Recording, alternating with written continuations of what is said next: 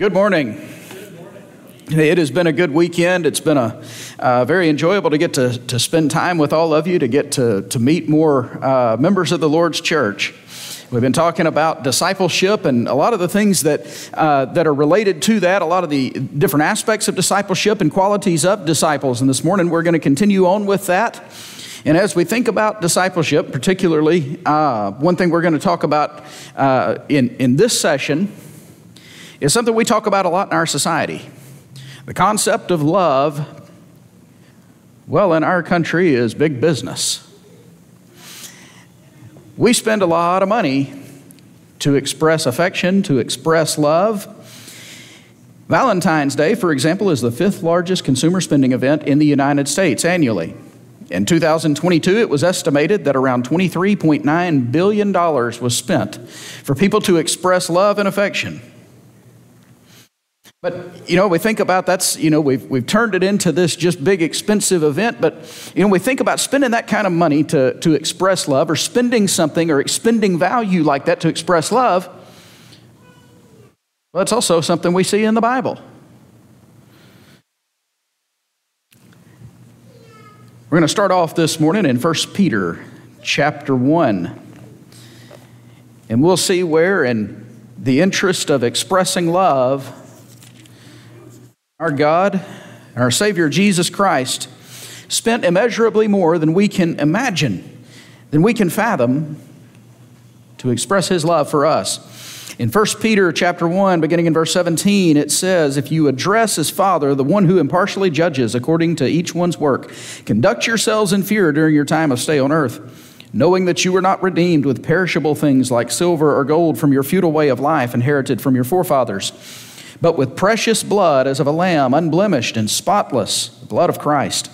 For he was foreknown before the foundation of the world, but has appeared in these last times for the sake of you, who through him are believers in God, who raised him from the dead and gave him glory, so that your faith and hope are in God. And so, God has spent immeasurably more than we can even fathom in order to express his love for his people. We've talked about over the last couple of days how the wages of sin is death. Well, that's exactly what Jesus paid. There was no price too high, there was nothing that was too big. He said, I'll pay it. And as the Hebrew writer says, there's no forgiveness without blood. So Jesus gave it.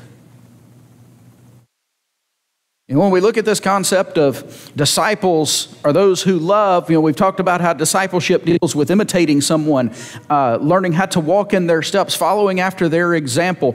And so it's only fitting that as we're looking at this right now, we're talking about the love that our God shows, the love that our Savior has shown, because that's what we're trying to imitate. And we'll talk about what that looks like for us in just a moment, but I want to spend just another minute looking at who our God is. And in 1 John chapter 4, I want to look at a couple of passages there, and this kind of sets the stage for us to talk about then our part and how we express love as a disciple of our Lord and what that, what that means. But in 1 John chapter 4, verses 7 and 8, John writes, Beloved, let us love one another, for love is from God. Everyone who loves is born of God and knows God. The one who does not love does not know God for God is love. And then further on in verses 15 and 16 of the same chapter, says, Whoever confesses that Jesus is the Son of God, God abides in him and he in God. We have come to know and have believed the love which God has for us. God is love. And the one who abides in love abides in God, and God abides in him. And so, twice there in this chapter, it uses that phrase, God is love. Over in chapter 1, John said, God is light. And what we see are these are these are phrases, these are concepts that define the nature of, the character of God. It doesn't just say that God shows love or God does loving things. Now, we look through Scripture and we see that's absolutely true, but this goes beyond that. It doesn't say that God shows love, it says that God is love. It defines His nature, it defines who He is. Everything that comes from God is an expression of love because it defines His nature. The greatest two commands, and we'll talk about these as we work our way a little bit later in the lesson, but they're all about love. Everything God does is loving. The pinnacle of uh, of that is what he's done in sending Jesus into the world. In John 3 16, it says, God so loved the world that he gave his only begotten Son. God so loved that he expressed it in, a, in an incredible generosity.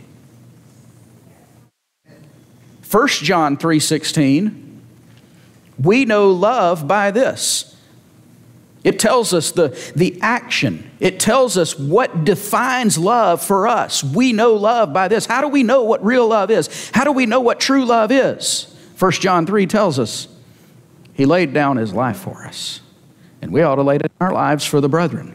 How we know what true love really means over and against what our, our world says true love is sometimes. Well, to our society, love is this feeling, it's an emotion. You can fall into it, you can fall out of it. It may last a little while, it may last a lifetime. We don't know.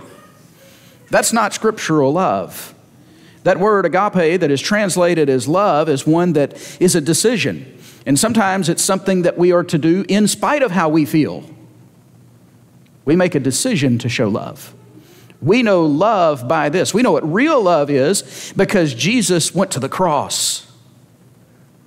And so, whenever we're talking about discipleship, we're talking about disciples being those who love, it's in following in the footsteps of our God and of our Savior who have defined what love is, who have shown us what love is. We wouldn't know what real love is outside of the actions of Jesus Christ. And so, if we're to be followers of Jesus, we have to be people who are characterized by our love. And so I want to look at a few aspects of that. And the first one I mentioned um, the greatest commands. If you'll turn with me to Matthew chapter 22. In this context, Jesus was being questioned about the greatest command in the law.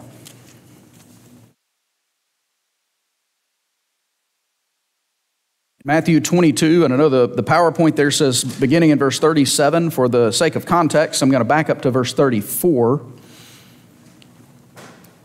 It says, When the Pharisees heard that Jesus had silenced the Sadducees, they gathered themselves together, and one of them, a lawyer, asked him a question, testing him Teacher, what is the greatest commandment in the law? And he said to him, You shall love the Lord your God with all your heart, with all your soul, with all your mind. This is the great and foremost commandment. If we're to be disciples of Jesus Christ, the first thing we have to do as far as loving is love our Lord. And we talked the other day about our obedience shows that we love Him, the way that we respond to His commands. But love for Him is what God has always wanted. Jesus is quoting there from Deuteronomy chapter 6. What God has always wanted is for His people to love Him with all that they are and all that they have. And that's what He wants from you and me today for us to love Him with everything that we are. Nothing is held back. The greatest command in the law is to love the Lord with the heart, the soul, the mind, and the strength. It takes effort that encompasses everything about us. If we really love God, there's no part of our lives that will be untouched or unchanged by Him. This is exactly the kind of thing that we observe in Jesus a love for the Father to the fullest, to the greatest extent.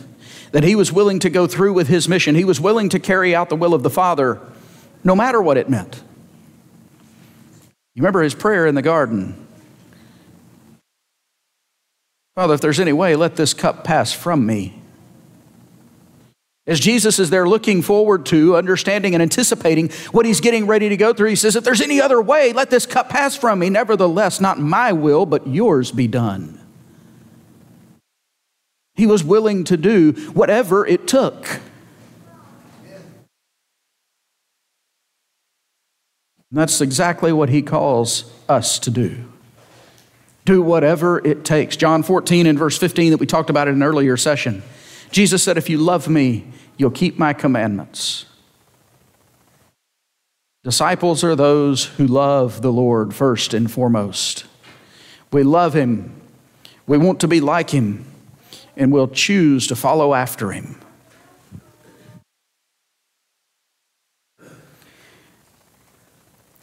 But how does that look? What does that look like in our lives from day to day?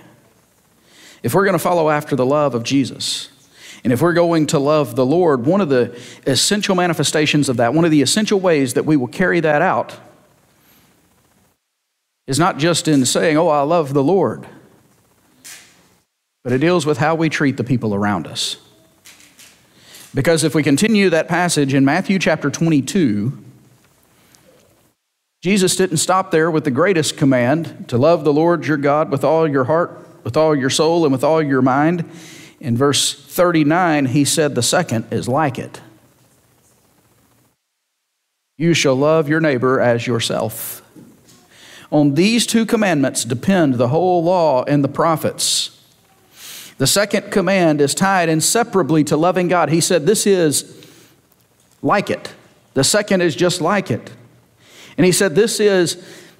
This is what the whole law and the prophets rest on, what God has always been looking for that you love the Lord and you love others. The, all the rest of it rests on this. If you love God, what are you going to do? Obey Him. If you love your neighbor as yourself, Paul would say, love does no harm. And so, those Ten Commandments thou shalt not commit murder, thou shalt not steal, thou shalt not bear false witness, thou shalt not covet. Love your neighbor as yourself. Because you see, when we choose to love our neighbor as ourselves, we're not going to do those sorts of things.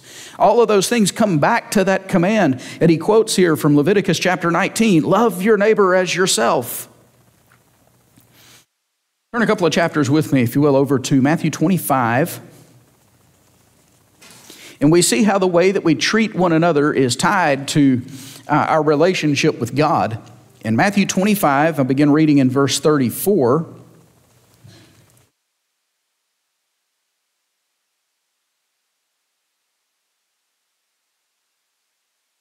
The king will say to those on his right, Come, you who are blessed of my Father, inherit the kingdom prepared for you from the foundation of the world. For I was hungry, and you gave me something to eat. I was thirsty, and you gave me a drink. I was a stranger, and you invited me in. Naked, and you clothed me. I was sick, and you visited me. I was in prison, and you came to me.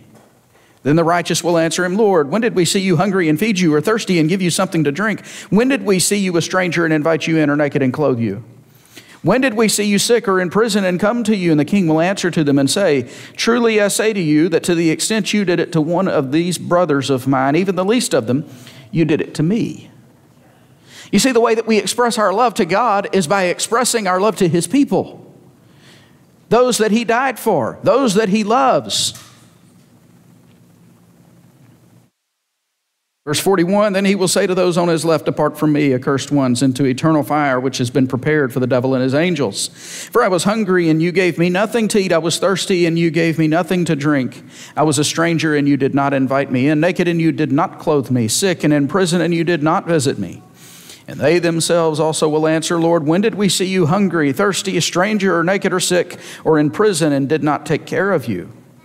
And he will answer them Truly I say to you, to the extent that you did not do it to one of the least of these, you did not do it to me. How we treat one another, how we treat the people around us is tied inseparably to our relationship to God, to our Lord. He says, If you are taking care of my people, he says, You're taking care of me. You remember when Saul was on the road to Damascus, whenever he was encountered by that light, encountered by the resurrected Jesus, what did he ask him? He said, Saul, why are you persecuting me?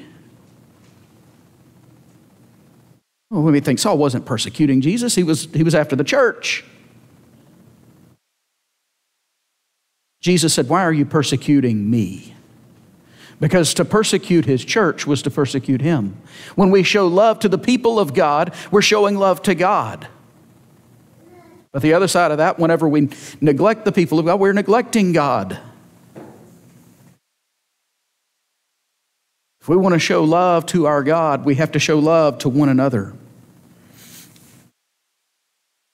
Paul speaks to this same concept over in Romans 13, and I alluded to this just a moment ago, but I want us to take a look at it. Um, just for, if for nothing else, just so that we can we put our eyes on the text where it says this in Romans 13, verses 8 through 10.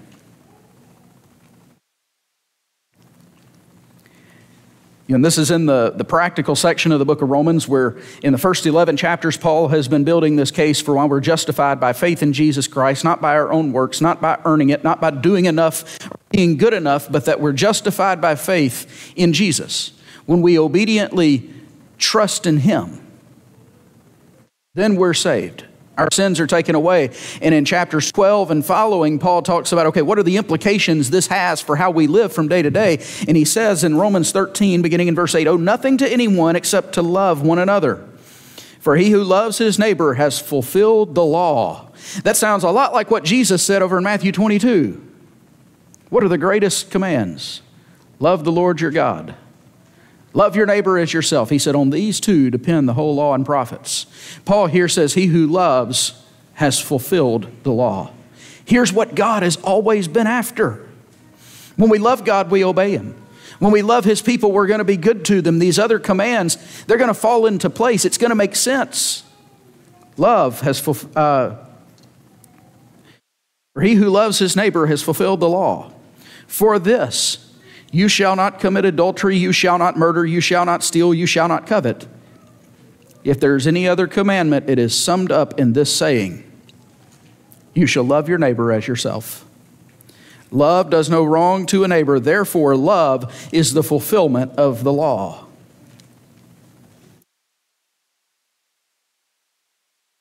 What God has always been after is that we'll love Him enough to do what He says. Trust Him enough to do what He says. And treat one another the way we would want to be treated.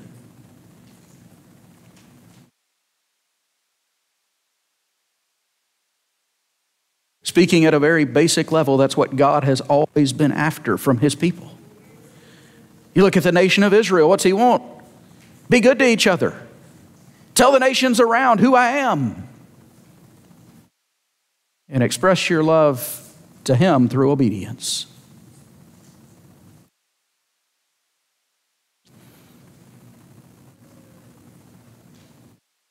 The heart behind all of the commands is love. If I love my neighbor, I don't want to hurt him. If I love my God, I'm going to want to serve him. I'm going to want to obey him. Love your neighbor as yourself.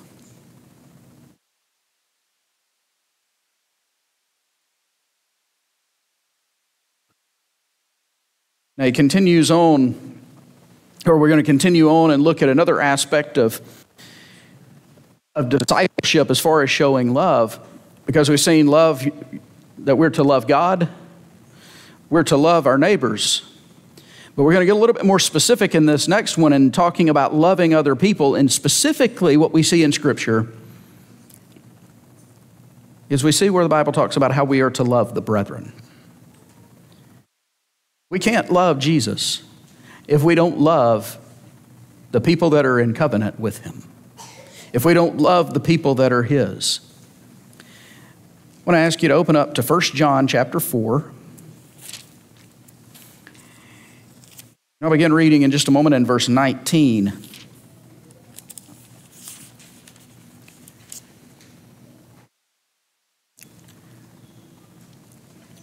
And this is another one of those passages that'll hit you hard when you really start thinking about the implications of it. But if you remember, John is in this letter, he's dealing with some false teaching that's been going on. Um, and he, there's that saying, and I talked about this the other day, that saying where, where John say, if we say or if someone says, and he's about to expose the false teachers those who thought they had some superior knowledge and a better connection to God. And notice here in 1 John 4, he said, We love because he first loved us. If someone says, okay, here it comes, I love God and hates his brother, he is a liar. Those two things are incompatible. Those two things don't go together. If someone says, I love God, but he's not treating the people of God with love, something's wrong. Those two things don't go hand in hand. It says he's a liar. For the one who does not love his brother whom he has seen cannot love God whom he has not seen. In this commandment we have from him that the one who loves God should love his brother also. But there in verse 20, He who does not love his brother whom he has seen cannot love God whom he has not seen. If we don't love one another, what John is telling us there by inspiration of the Holy Spirit is that if I don't love you, it is impossible for me to love God. It doesn't say that if we don't love one another that it's going to be difficult to love God. He's saying that a lack of love among the people of God is incompatible with love between us and God. If we love Him, by extension, we also love one another. Now, we've been talking about, and I mentioned, uh, I've mentioned before um, about how this, this idea of love, agape, it is a love of decision. Sometimes that choosing to love means I'm choosing to love in spite of how I feel. But if I love God, I'm going to choose, even on days when I don't feel like it, to love His people. That's a decision that we make. Like the decision that He made. The identifying mark of love is action. We know love by this that He laid down His life for us. In John chapter 13, why is this so important? Why is this so essential?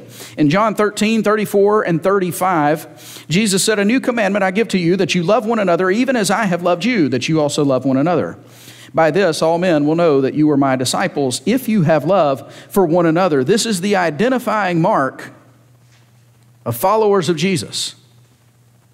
You want people to know that you love, that you follow after Jesus Demonstrate love for his people. Now, I know today we get caught up in this. Well, if, if I'm going to follow after Jesus, I have to be clever. I have to know all of these things. I have to. Well, and unfortunately, in our world today, we see if I follow after Jesus, some, some people say, well, I have to, it's, it's essential that I vote a certain way. Jesus never said that.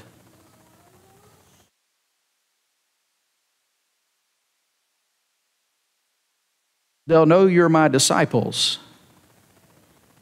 not by how clever you are, how good you are at winning arguments with people who have maybe a lack of understanding in something.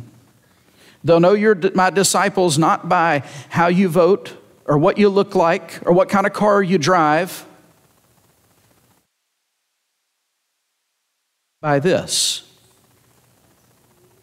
by your love for one another. The world will know that you're my disciples, Jesus said. And he clarifies specifically what that means love one another as I have loved you. Now we know that this is just before he's getting ready to go out to the Garden of Gethsemane where he's going to be arrested.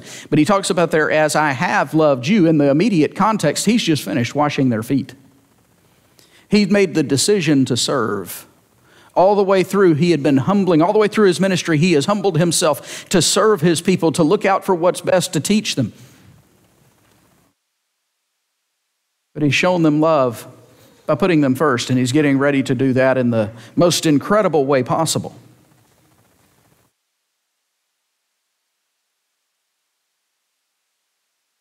It's impossible for us to love God if we don't love one another, if we don't choose to love one another. And that's how the world will know that we actually follow Jesus as well. But the expression of this kind of love, what does that look like practically? Okay, I know the command's there. I've got to love my brother. I've got to choose to love my brother. What does that look like? Well, as you work your way through the New Testament, you'll find that there are quite a few passages that tell us specifically how to treat one another. You want to know what it looks like, love demonstrated between one another? Go through and find all of those one another passages about where the Bible tells you how to treat one another. Love that's commanded is love that's a choice. It's not just an emotion because sometimes we don't feel like being loving. The expression of love comes out of a decision of how we love or how we treat one another.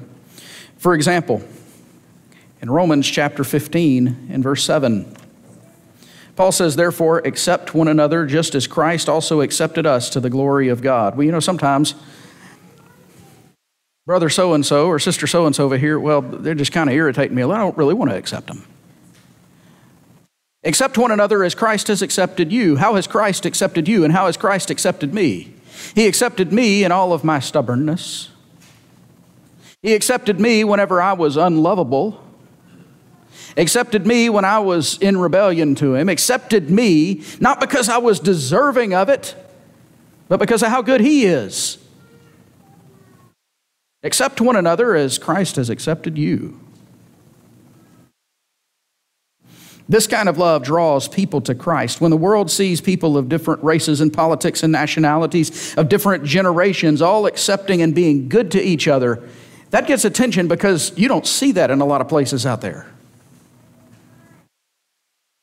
You see division and anger and frustration. God says, accept one another. James chapter 5, verses 14 to 18. Pray for one another. Why? Because God hears and answers. It's the best thing that we can do for each other is to bring each other's names up before the throne of God. Specifically, Hebrews 3 12 and 13. Encourage one another. Because we all need it sometimes. You know, there's a saying going around that there's pain in every pew Every one of us is fighting some battle, dealing with some struggle that others don't know about. Do you come looking for a way to encourage your brothers and sisters? That's one of the best ways that we can express love to each other is to build each other up. Find a kind word that you can say that will help someone to leave motivated, help someone to leave encouraged.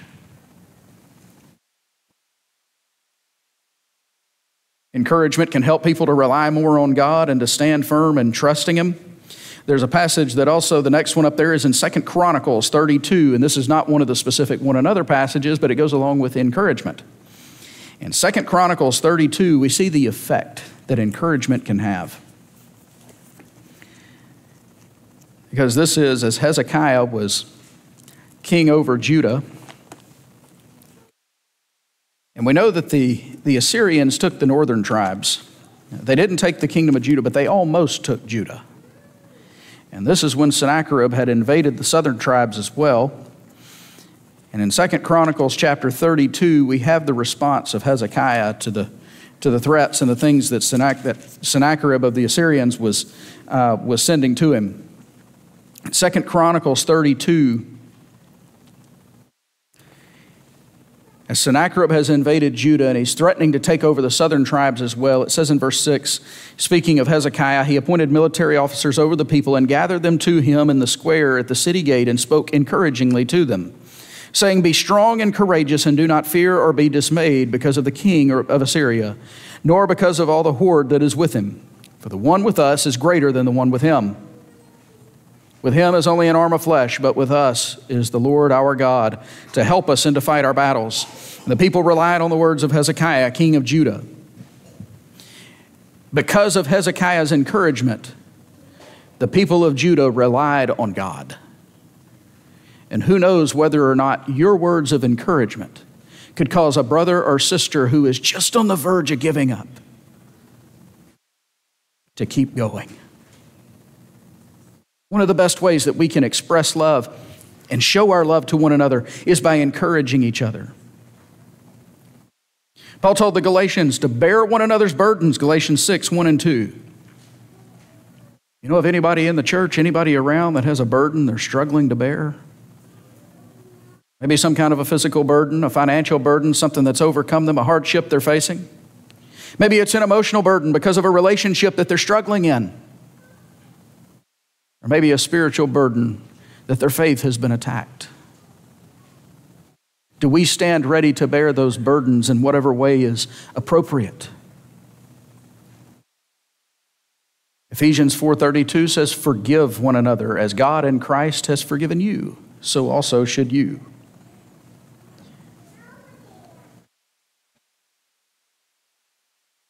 We choose to forgive one another that says that we love one another. It says, I'm choosing to put this relationship over maybe my hurt feelings. Because, you know, sometimes whenever things go wrong, it takes a long time for the emotion or the hurt to go away. Forgive one another as God in Christ has forgiven you. It's a decision we make regardless of emotion. And it's a way that we choose to show our love to each other, sometimes in spite of how we feel. If we follow after Jesus, we're going to first and foremost love God. We're going to love the people around us, love our neighbor as ourselves.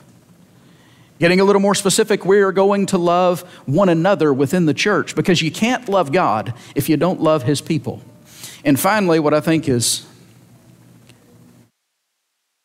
one of the more difficult commands in Scripture, he says, Love your enemies.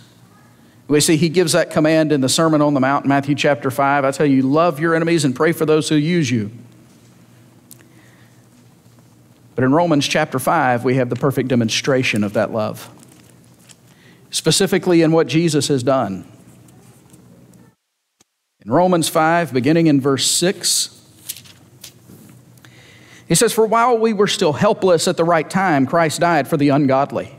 For one will hardly die for a righteous man, though perhaps for the good man someone would dare even to die, but God I always love whenever those two words show up together in Scripture. But God. Here's what man might would do. And I hear Paul is saying, now let me tell you what God did. But God demonstrates his own love toward us in that while we were yet sinners, Christ died for us.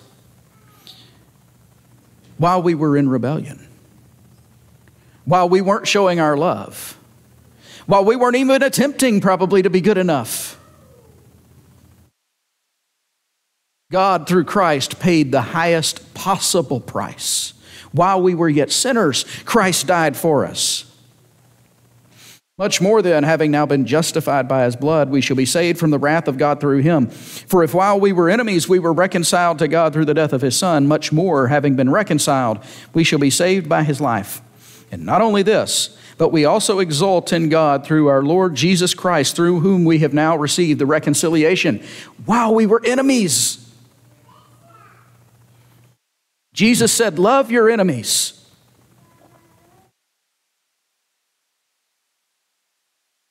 You know, when we look at the commands, specifically as we consider the difficult commands that we have from our Lord in Scripture, what you find over and over and over again is that Christ doesn't command us to do anything that he hasn't already done himself.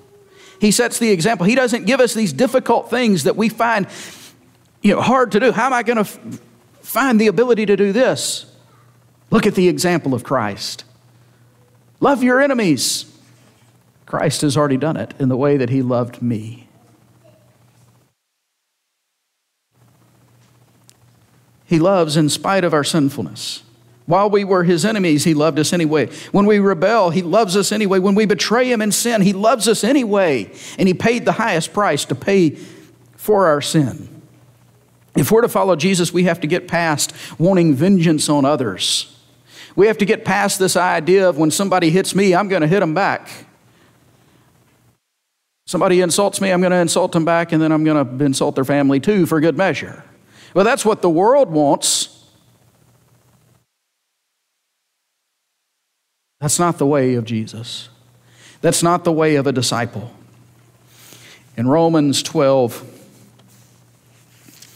17 to 21, Paul writes, Never pay back evil for evil to anyone.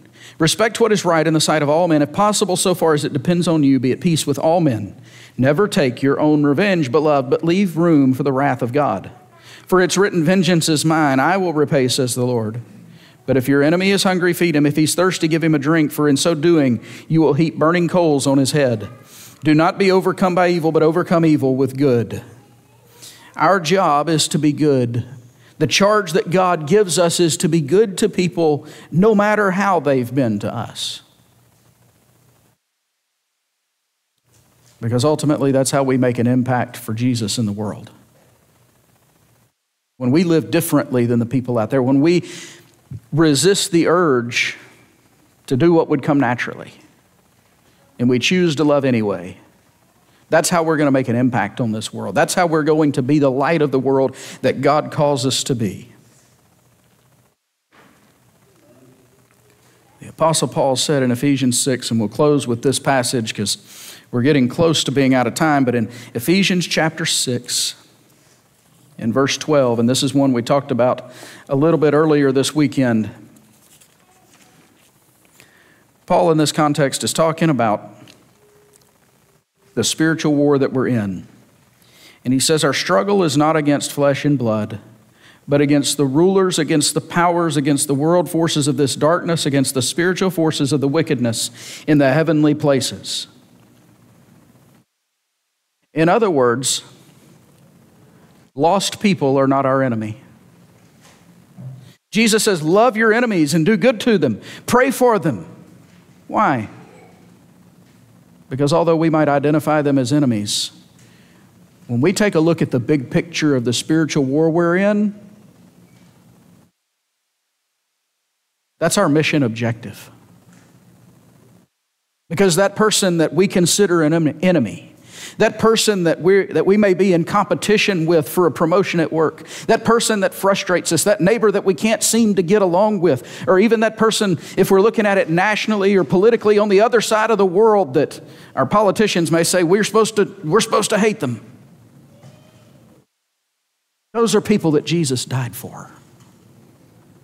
Our struggle is not against flesh and blood. For God so loved the world God so loved the world of sinful, rebellious people. God so loved the world of people that didn't love Him. God so loved the world of people who were against Him. God so loved the world of people who chose to crucify His Son. God so loved you and me that He gave His only begotten Son that whoever believes in him shall not perish but have eternal life. God so loved, and he charges us to love in that same way to love him and to love everyone around us, whether it's easy or not. It's a decision that we make. And if we are to follow after Jesus, if we are going to be his disciples, we have to make a decision that we're going to love those around us at every opportunity we have.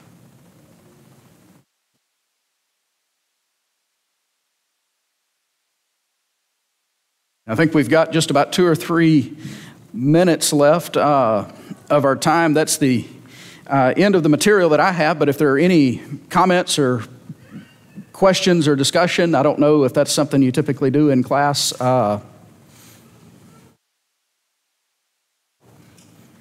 if not, we can. I'm sorry?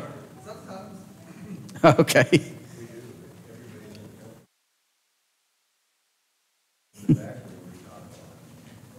oh. oh. the back room, in the multi-purpose room, we talk a lot, but in here, people's uncomfortable. Okay. Oh, okay. Well, if we need to go back there, we can discuss the material. And uh, uh, well, if there if there are no uh, any no comments or, or questions or anything, we'll we'll go ahead and conclude at that point and. Uh, but I appreciate everyone's attention and, and attendance and look forward to, to wrapping up the series on discipleship in our next session.